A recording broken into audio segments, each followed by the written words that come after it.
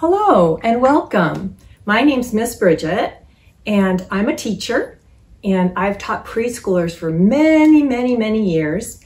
And during that time, we learned lots of things together and had lots of fun learning. And one of the things we had fun learning was our letters.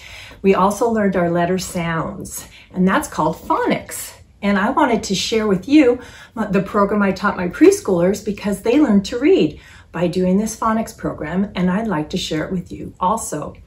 The thing we did is we learned all of our letter sounds, A to Z, the whole alphabet, and we did one letter each week.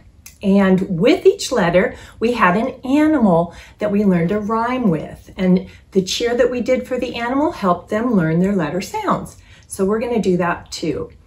The first letter, do you know what it is that we start with? That's right. We're going to start with the letter A. This is the letter A.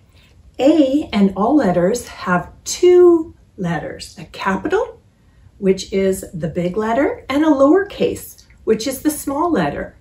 And every letter also has a sound. And the sound that A makes is ah.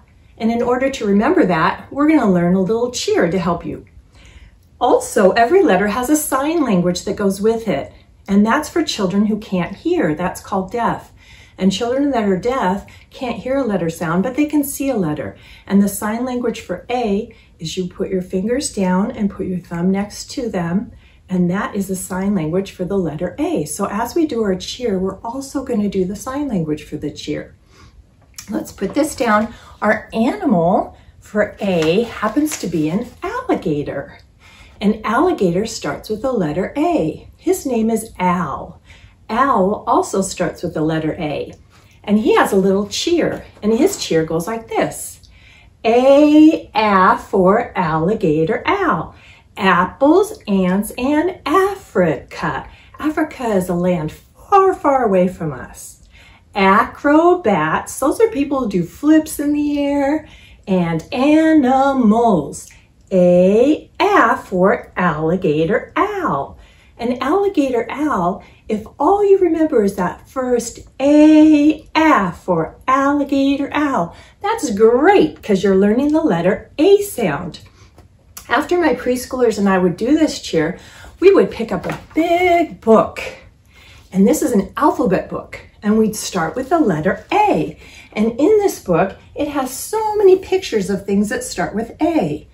There's an anchor, an acrobat, an aardvark, that's someone who eats ants that start with A, apple tree, apple, artist, antelope, apricot, alligator, acorn, avocado, and astronaut. Those are so many things that start with A. And after my preschoolers would tell me what they saw that started with A, we would shut the book, and then they would try and remember something that starts with A. I want you to try and think real hard and think if you can think of something that starts with the letter A. Hmm, what can you remember that was in that book or it could be in the alligator cheer that starts with A? Since you're not here to tell me, I'll try and guess what you're thinking. I have an apple up here to write on, so let's start with apple. Apple starts with the letter A, so we'll write the word apple. What else was in that book? Let's think. Hmm. There was an alligator like our cheer. Let's write alligator because alligator starts with the letter A. Let's think of something else. What else was in that book? Hmm. I think I remember. What's that person who flies through outer space, can fly in a spaceship? Right, astronaut. Astronaut starts with the letter A. Let's think of one more thing that starts with it. Do you remember that guy who was flying through the, the fire hoop in our picture? And they do flips in the air sometimes. What are they called? Acrobats. Acrobats starts with the letter A. Let's write acrobats down. So we've written some words that start with the letter A on our apple. After we did that with the preschoolers, we had a fun time doing what we called rainbow writing. And rainbow writing is something that's super simple. They each got a notebook, and inside the notebook, I wrote the capital A and the lowercase a. And a grown-up can help you do that too. And if you don't have a notebook, any paper will do. And then we called it rainbow writing because the kids would pick any three colors they wanted and they would trace the big A and the little a. And they could do it with crayons or pens. I have pens here today, so I'm going to use pens. You can use whatever you want. My first color I picked, can you tell me what color that is? Right, green. So the red dot that I put at the top of the A, it shows the children where to start. So you put your pen at the top of the A and you trace one side and then you trace the other side and then you cross in the middle. If you don't stay on the lines, it doesn't matter. It just shows you where to go. And then this other red dot on the small letter A, you just put your pen there and you make a big curve. It looks kind of like a letter C that we'll learn later. And then you put a little line down the side. And that is the letter A that we've traced. Now we're gonna do it two more times. Pick whatever color you want. I think I'll pick this color next. Blue, right.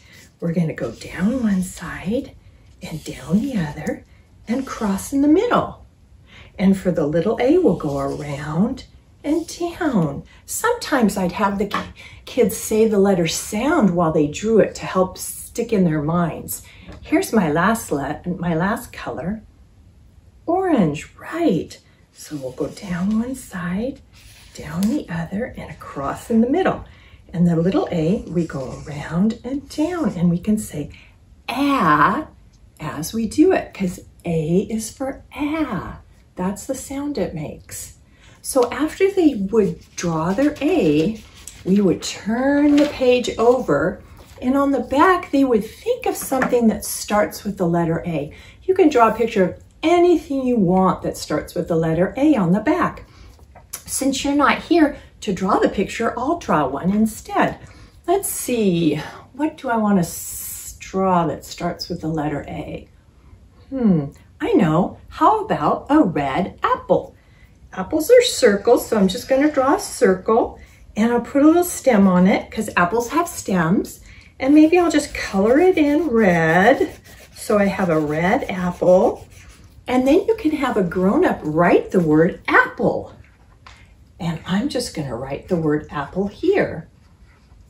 And now we know we have an apple. And so that is our rainbow writing.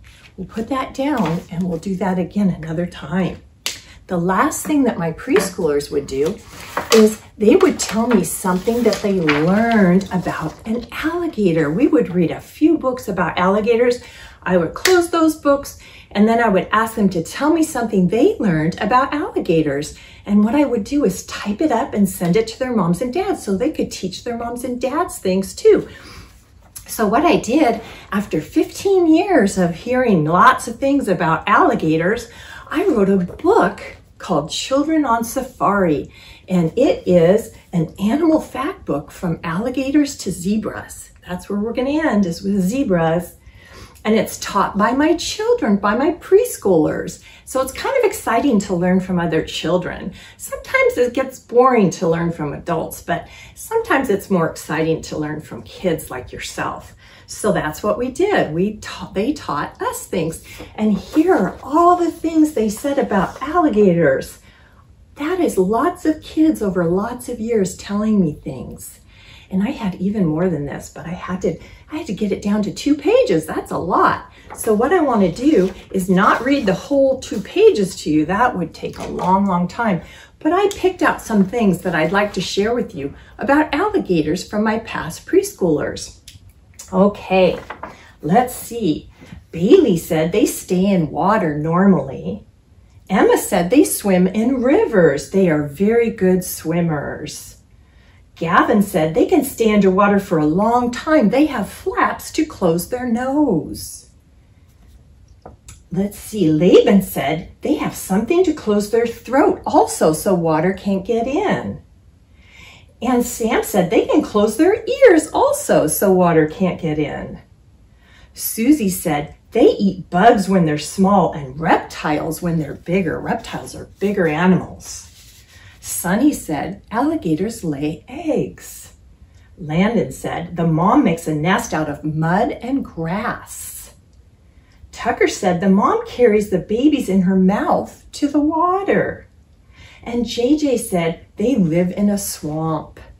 That's just a few of the many, many things my preschoolers told me about alligators. They're really interesting animals. And here's a picture of an alligator. Here he is. He's by the river and in his habitat. His habitat is his home, and probably his habitat is a swamp, like JJ said.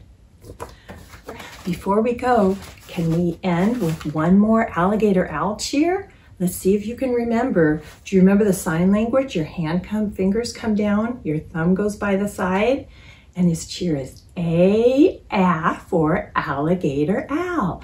Apples, ants, and Africa. Acrobats and animals. A, A for alligator Al. Thank you for joining me today. The next time we come back, we're going to do the next letter. Do you know what comes after A? Hmm, let's look. After A is the letter B. And B has a B sound, and we will see what animal starts with the letter B next time. Thanks for joining me. I'm so glad you're here. I love it when you join me, and I can teach you a little bit too. Okay, until next time, have fun, and we'll see you later. Bye.